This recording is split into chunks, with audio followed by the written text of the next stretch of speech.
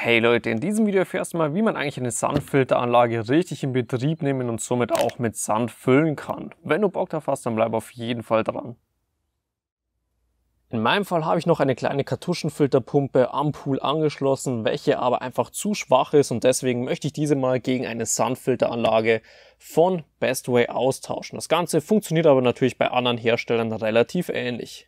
Zuerst einmal sollten wir alles auspacken und schön auf dem Boden verteilen, damit wir auch einen guten Überblick über unsere Anlage selber, über Schläuche und natürlich auch über die speziellen Adapter und vor allem unsere Dichtungen haben. Nun können wir auch schon den unteren Ring von unserem Kessler mal mit der Pumpe verbinden. Hier für die Pumpe einfach etwas anheben. Da befinden sich nämlich zwei solche kleine Nasen normalerweise unten drunter. Und die stecke ich jetzt von oben auf meinen Ring drauf. Dann sollte das Ganze nämlich auch schon passen. Für meinen Kessel muss ich eigentlich nur darauf achten, dass wir bei unserem Ring hier unten so eine kleine Nase haben. Und beim Kessel befindet sich auf der Unterseite das Gegenstück, was so eine kleine Einkerbung ist. Ich schaue also, dass die Einkerbung bei meiner Nase richtig drauf sitzt und danach lässt sich nämlich der Kessel auch nicht mehr drehen. Als nächstes können wir unsere Anlage eigentlich auch schon mit Sand befüllen, deswegen mal den mitgelieferten Sandeinfüllschutz von oben auf den Kessel drauf geben. Hierbei ist eigentlich nur wichtig, dass wirklich das innere Rohr verschlossen bleibt, dass da auf gar keinen Fall beim Befüllen irgendwie Sand reinkommt. Und meine Sandfilteranlage habe ich übrigens auch schon an den richtigen Ort gestellt, da das Ganze natürlich später mit Sand doch etwas schwerer zum Verschieben ist. Jetzt schauen wir aber erst einmal in der Betriebsanleitung nach, wie viel Sand hier reinkommt und vor allem auch, welche Körnung benötigt wird. Bei mir benötige ich eine Sandgröße von 0,45 bis 0,85 mm und das Fassungsvermögen meiner Sandfilteranlage beträgt ca. 36 Kilo. Falls es bei dir in der Anleitung übrigens nicht drin stehen sollte, dann am besten mal noch den Einfüllschutz wieder runternehmen und normalerweise können wir hier am Rohr auch noch eine Markierung für minimalen Füllstand von Sand und für den maximalen Füllstand erkennen. Bedeutet einfach irgendwo dazwischen sollte der Sand am Ende liegen. Ich fülle also zuerst einmal einen ganzen 25 Kilo Sack in meine Sandfilteranlage rein. Und die restlichen 11 Kilo habe ich mal mit einer normalen Personenwaage abgewogen und gebe diese jetzt mit meinen Eimer ebenfalls in den Kessel. Zum Schluss den restlichen Sand von unserem Einfüllschutz einmal noch runtergeben. Hierfür gerne auch etwas wackeln und dann können wir nämlich diesen auch schon ganz einfach entfernen. Als nächstes nochmal nachkontrollieren, dass wirklich auf gar keinen Fall hier oben irgendwelche Sandkörner sind, da es anschließend sonst undicht werden könnte. Und nun können wir auch schon unser Mehrwegeventil einmal von oben draufsetzen und müssen nur darauf achten, dass der Anschluss natürlich auch bei dem entsprechenden Rohr drauf passt. Bei mir schaut es schon gut aus und jetzt richte ich es schon mal grob aus. Und zwar muss mein Anschluss C, welcher hier oben gekennzeichnet ist, auch Richtung meiner Pumpe rüber schauen. Als nächstes müssen wir mal noch unseren Spannring etwas lösen. Hierfür habe ich hier drüben eine Kreuzschraube und auch auf der Seite, weswegen ich mal mit einem ganz normalen Kreuzschraubendreher das Ganze gegen den Uhrzeigersinn ordentlich löse.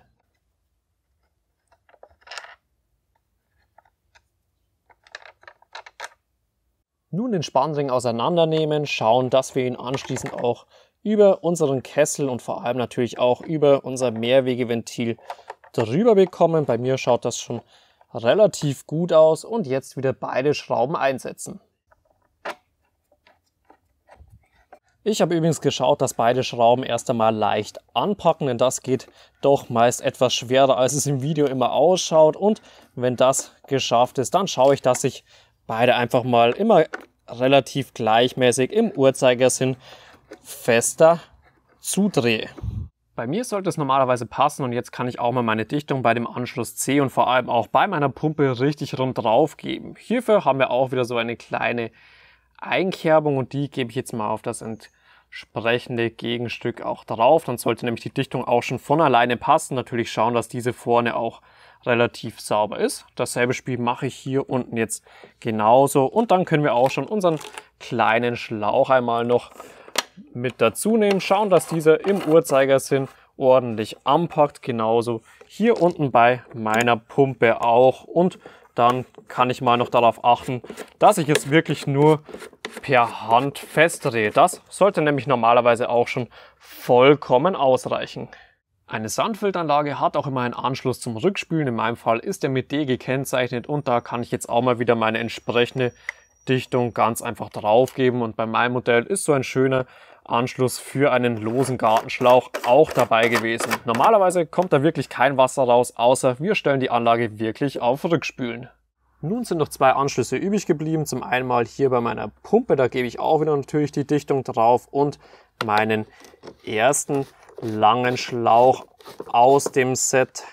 Und noch mein freier Anschluss bei Mehrwegeventil, weswegen ich auch hier natürlich wieder die Dichtung nicht vergessen darf. Und anschließend kommt auch hier der zweite lange Schlauch noch mit drauf.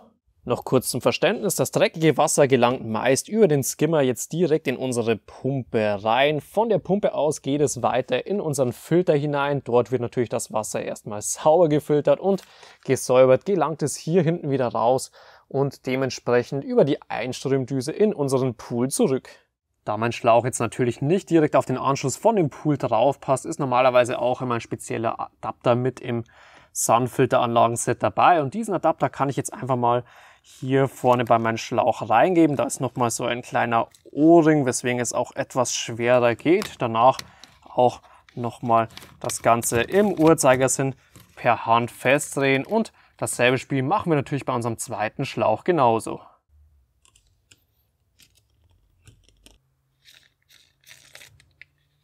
Da mein Pool jetzt aber schon mit Wasser befüllt ist, kann ich natürlich nicht einfach den Schlauch von der alten Filterpumpe abziehen, da mir sonst das ganze Wasser durch den Anschluss auslaufen würde. Deswegen war aber beim Kauf vom Pool auch so ein spezieller Stopfen mit dabei. Und nun kann ich einfach mal meinen Anschluss hier innen drin im Uhrzeigersinn rausdrehen. Dann entnehme ich das Ganze auch schon und schaue einfach, dass der Stopfen mit Richtung Nase auch zu meinem Anschluss rein zeigt. Und dann kann ich diesen Anschluss auch schon ganz einfach abdichten. Wenn du Glück hast, dann hat dein Pool natürlich auf der Seite beim Schlauch noch ein kleines Ventil, was du einfach im Uhrzeigersinn zudrehen kannst und somit auch den Anschluss abdichten kannst.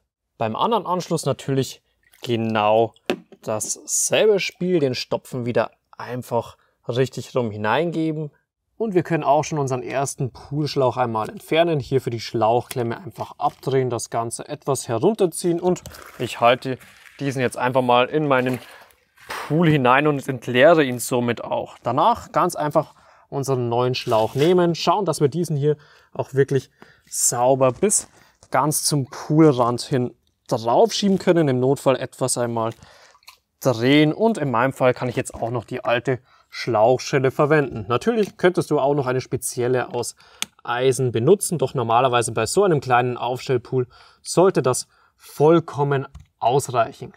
Auch beim zweiten Anschluss entfernen wir erst einmal unsere Schlauchschelle. Danach können wir nämlich den Anschluss auch schon wieder schnell herunternehmen, in den Pool am besten reinhalten oder natürlich auch in einen Eimer den neuen Poolschlauch wieder drauf geben. Schauen, dass dieser schön bei der Wand vorne sitzt und die alte Schlauchschelle dementsprechend wieder richtig rum drauf geben und im Uhrzeigersinn festdrehen.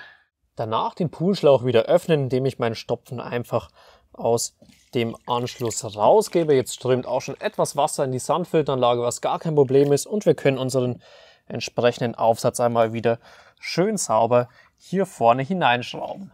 Sobald ich meinen zweiten Anschluss öffne, sollte jetzt normalerweise auch schon Luft aus diesem rauskommen. Die Sandfilteranlage befüllt sich noch mehr und wenn die meiste Luft draußen ist, können wir natürlich auch wieder unseren Anschluss hier vorne einfach drauf geben.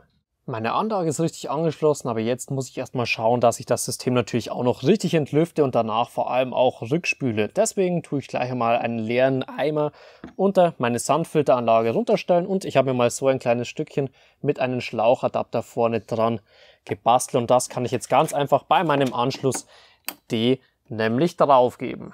Die Pumpe ist immer noch nicht am Strom angeschlossen. Jetzt einfach mal den Hebel hier oben etwas nach unten drücken und das machen wir so lange, bis Wasser bei unserem Anschluss D auch rauskommt. Auch in unseren Poolschläuchen kann noch relativ viel Luft drinnen sein, weswegen ich diese jetzt einfach mal von der Filterpumpe aus etwas nach oben hin heben würde und so jetzt einfach langsam aber sicher die Luft nach oben Richtung Pool steigt. Das machen wir Jetzt wie gesagt bis zum Anschluss von unserem Pool und dann sollte nämlich auch schon die ganze Luft aus dem Schlauch draußen sein. Dasselbe spielt natürlich bei dem anderen Anschluss genauso. Und hier haben wir jetzt übrigens auch nochmal eine Möglichkeit, dass wir zum Beispiel unser Glas hier oben etwas gegen den Uhrzeigersinn lösen und somit auch noch die restliche Luft aus unserer Pumpe rausbekommen. Wenn Wasser rausläuft, dann einfach wieder schließen. Je nach Modell kann hier oben nämlich auch ein kleines Entlüftungsventil noch sein. Die meiste Luft aus unserem System sollte draußen sein und jetzt müssen wir unsere Sandfilteranlage erst einmal noch rückspülen, dass natürlich der erste Dreck von dem ganzen Sand nicht direkt im Pool landet. Deswegen den Hebel einmal nach unten drücken und rechts rüber, in meinem Fall nämlich zu dem Symbol mit den zwei Pfeilen, was einfach Rückspülen bedeutet. Danach die Pumpe am Stromnetz anschließen und falls bei dir so ein Tester hier mit dabei ist, am besten einfach mal auf Reset klicken, dass hier oben so ein rotes Lämpchen aufleuchtet, danach auf Test und wenn es wieder ausgeht, passt alles, dann können wir nämlich wieder auf Reset gehen und unsere Pumpe einschalten. Laut Anleitung sollen wir das System jetzt circa drei bis fünf Minuten einmal rückspülen, doch normalerweise reicht es auch so lange aus, bis das Wasser hier vorne wieder klar rauskommt. Und falls bei dir viel Chlor vorhanden ist, dann lieber in eine Abwasserleitung geben. Falls fast kein Chlor drin ist wie bei mir, dann kannst du es auch mit gutem Gewissen im Garten versickern lassen. Und wichtig, immer wieder die Pumpe dann ausschalten und dann kannst du nämlich auch wieder den Hebel auf ganz normal filtern stellen, dass natürlich diese Rückspülung auch aufhört. Bitte den Hebel von der Sandfilteranlage auf gar keinen Fall betätigen, wenn die Pumpe noch läuft, da hier sonst im schlimmsten Fall etwas kaputt gehen könnte. Mein Wasser ist wieder sehr klar, weswegen wir mit dem Rückspülen auch schon fertig sind und laut Anleitung sollen wir jetzt mal noch auf den Wassertropfen gehen, was einfach nochmal nachspülen bzw. normales Spülen bedeutet, dass auch wirklich der letzte Dreck aus unserem Sand nochmal rausgeht und vor allem auch das Sandbett wieder schön gerade drinnen liegt. Deswegen auf den Wassertropfen gehen und die Pumpe wieder anschalten. Das Ganze sollen wir jetzt übrigens circa eine Minute noch laufen lassen. In meinem Fall mache ich jetzt einfach mal wieder zwei Eimer voll und schütte diese aus.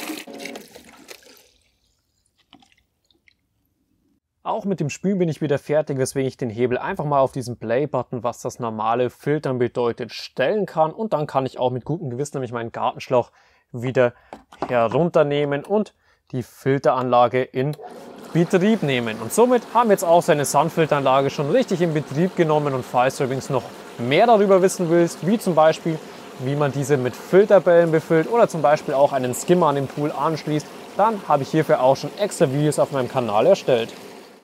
Wenn du dir für zu Hause jetzt übrigens eine neue Sandfilteranlage, speziellen Filter, Sand, Schlauchschellen oder natürlich auch einen Poolschlauch zulegen möchtest, dann am besten einfach mal unterhalb des Videos in der Videobeschreibung auf den entsprechenden Link klicken und du kommst direkt zu den Produkten auf Amazon vom Markenhersteller.